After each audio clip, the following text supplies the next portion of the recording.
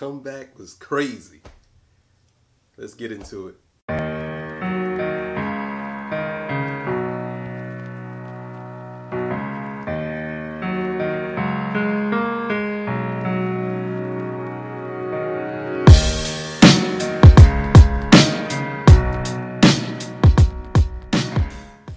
Alright, man. Torture Talk.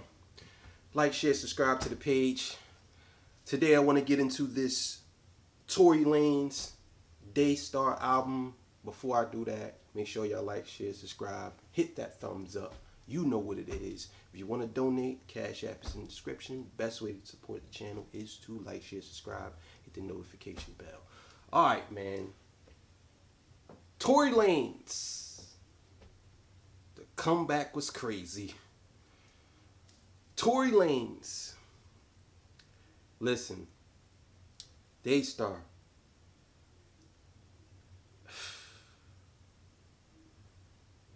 How do I start this, man? Because this is an excellent project.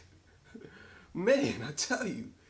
Listen, I reviewed Tory Lanez last album. I think it was Toronto three, I think it was, and it was okay. I thought that. I mean, I'm put put it to y'all like this: Tory Lanez to me, he fell in that category of uh, the new generation of multitask rappers who can rap slash, you know, sing, kind of like a, a, a, a, rap, more of a rap version of Chris Brown or Drake, I should say. Um, fell into that lane. Um, and I'll be honest with y'all, I really wasn't feeling too much of these new guys like that. I just think that they were, I thought that they were reaching a lot. And with this project, I, I just, this is the level up here. And I think that this is where he need to stay and keep going with it. See, I always thought that emotional music makes the best music sometimes. Like, you go back to the old music, usually it's the emotional songs that stick with you. And I think that he's in a vulnerable and emotional state where it pushes him to deliver something that I don't think he ever delivered before.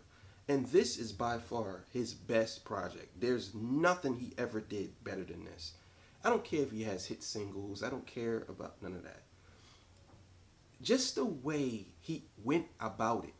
And I hear some people say, and I even agree that the subject matter is throughout the whole thing is the same. Well, he's talking about himself. So of course the subject matter is going to be the same. His name, that's his name. And that's the album. It's about him. So I get it. So on the flip side of that, I guess you can say, you know, that was a perfect storm so going into this project, I really didn't want to listen to it because I said, okay, I'm not gonna get on the whole Megan Thee Stallion thing where what happened between the two. If you want to know what happened, y'all just go research that. I said I'm not gonna get into that. I said, but it must be something that he has to say because he hasn't said anything even though I didn't want to get into that. So I didn't go to the album. Let's just be honest, I was being nosy. you know what I'm saying? I ain't gonna sit here and play y'all. I was being nosy. Even though I don't get into that. But I just wanted to hear his side. And man, I tell you. Woo! Boy. From the first song to the last song, he delivered it, it's not one thing on this album that I would disagree with as far as how he came. I don't think Tory Lanez is done, and I don't think that he has reached his peak. I think that he just opened up a new chapter in his career to me, and he showed me a lot. Now, before I get into the review part of the album, I'm just going to some disclaimers. Tory Lanez is from the new generation, and the new generation tend to sound like each other in a way. So I kind of got to give Tory Lanez a pass when I hear people say that, oh, this song sounds like Chris Brown. Oh, this song sounds like Chance the Rapper. Or this song sounds like Drake. Most rappers nowadays they strive to sound the same anyway, because it's not about them sounding the same. It's the actual sound of what's going on right now. So, so he gets a pass on that. So let's just throw that out the window. But outside of that, man, I tell you, let's start with the production. The production was amazing. I think that every song on this album, the production was at least a 9 or a 10. Every beat was good. Every beat were good. Like it wasn't like no lackluster beat. Some of like I would say one of the beats started off kind of okay, but then it changed up, and I said, "Oh yeah, this is fire." And I liked how he changed up with it. That was pretty decent. I like that. The the the beats were great. Song structure amazing. From the R&B to the rapping to the long verses, everything had a point to it. So it was just just the song content even though it was all in the same it came he came with different angles about different situations and some of those situations I could understand and relate to from previous relationships I've been in. And to me that makes the great a great a great perfect storm of an album. And as far as the raps go, like come on. He was on a hundred every song. Every song he was on a hundred. Now, I will have to nitpick a little bit. He addressed people in one song, not not his ex, because I can give that a pass, but sometimes you can't keep addressing the same people. But then again, I can understand why he did it, because that's when you're in an emotional state. Like, listen, I don't care.